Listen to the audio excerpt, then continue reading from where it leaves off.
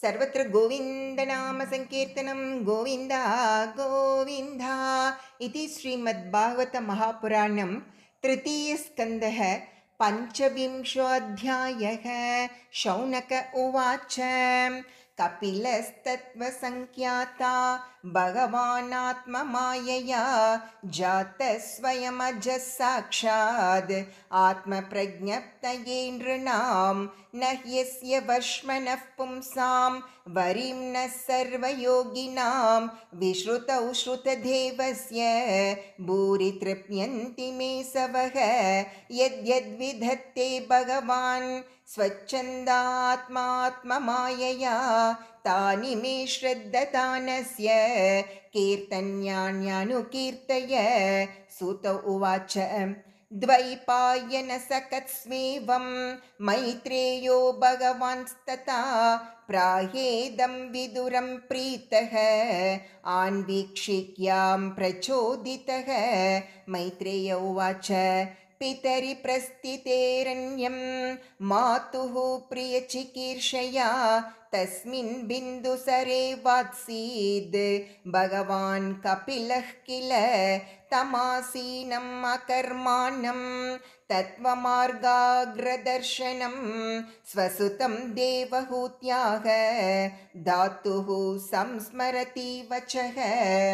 देवहूतिरुवाच இதிலிருந்து கபில உபாக்கியானம் ஆரம்பமாகிறது निर्विन्नानितराम्बोमन् असद्धिन्द्रियदर्शनात् येन सम्भाव्यमानेन प्रपन्नान्धं तमः प्रभो तस्य त्वं तमसोन्दस्य दुष्पारस्याध्यपारगं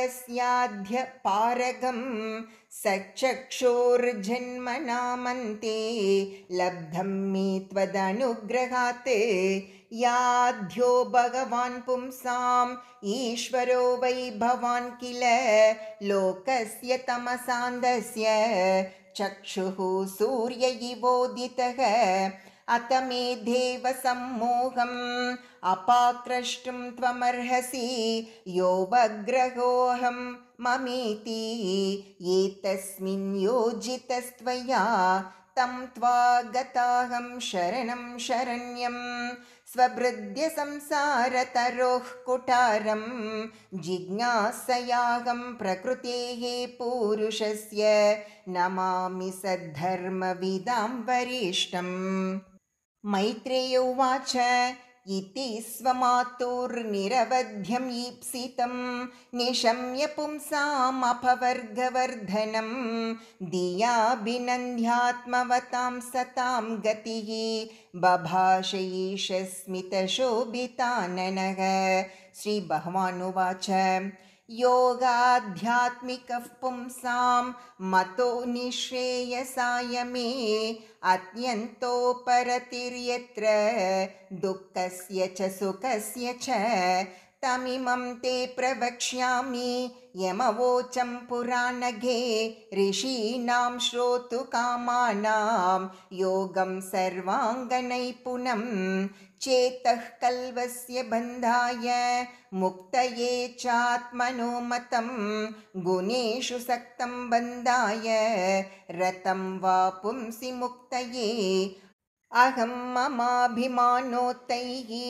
कामलोभादिभिर्मलैः वीतं यदा मनःशुद्धम् अधुक्कम् असुखं समं तथा पुरुषात्मानं केवलं प्रकृतेः परं निरन्तरं स्वयं ज्योतिः अनिमानम् अकण्टितं ज्ञानवैराग्ययुक्तेन भक्तियुक्तेन चात्मना परिपश्यत्युदासीनं प्रकृतिं च हतौजसं न युज्यमानया भक्त्या भगवत्यखिलात्मनि सदृशोऽस्ति शिवः पन्था।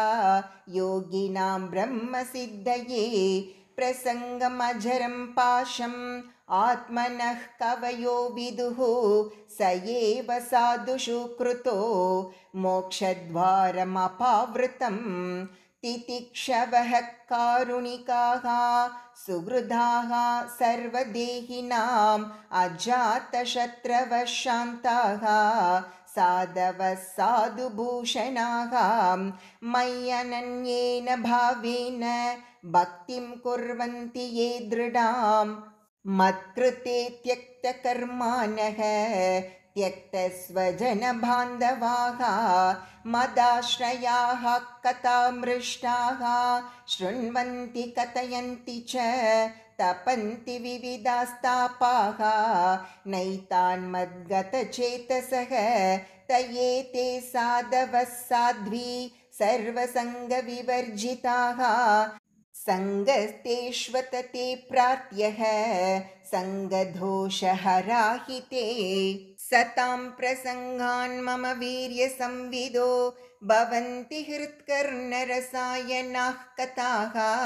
तज्जोषनादाश्वपवर्गवर्ध्मनि श्रद्धारतिर्भक्तिरनुक्रमिष्यति।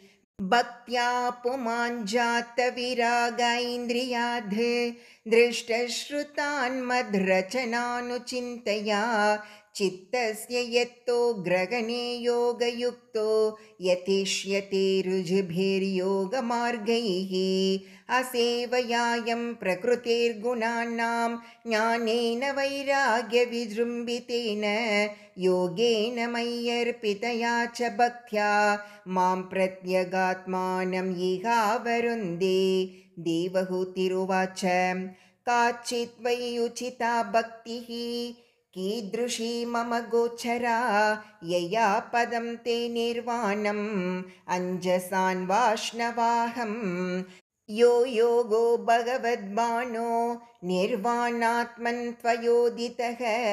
कीदृशः कति चाङ्गानि यतस्तत्त्वावबोधनम् तद्धेतन्मे विजानीहि यताहं मन्तधीर्हरे सुखं बुद्ध्येय दुर्बोधं योषा भवदनुग्रहात्।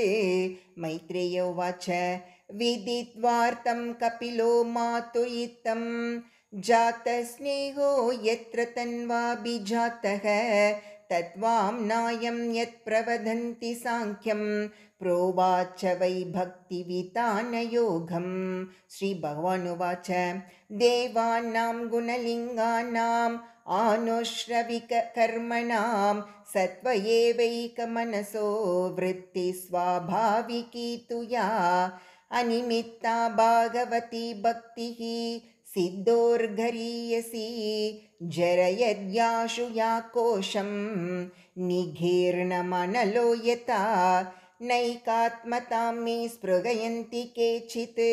मत्पादसेवाभिरता मदीहाः येन्योन्यतो भागवतः प्रसज्य सभाजयन्ते मम पौरुषाणि।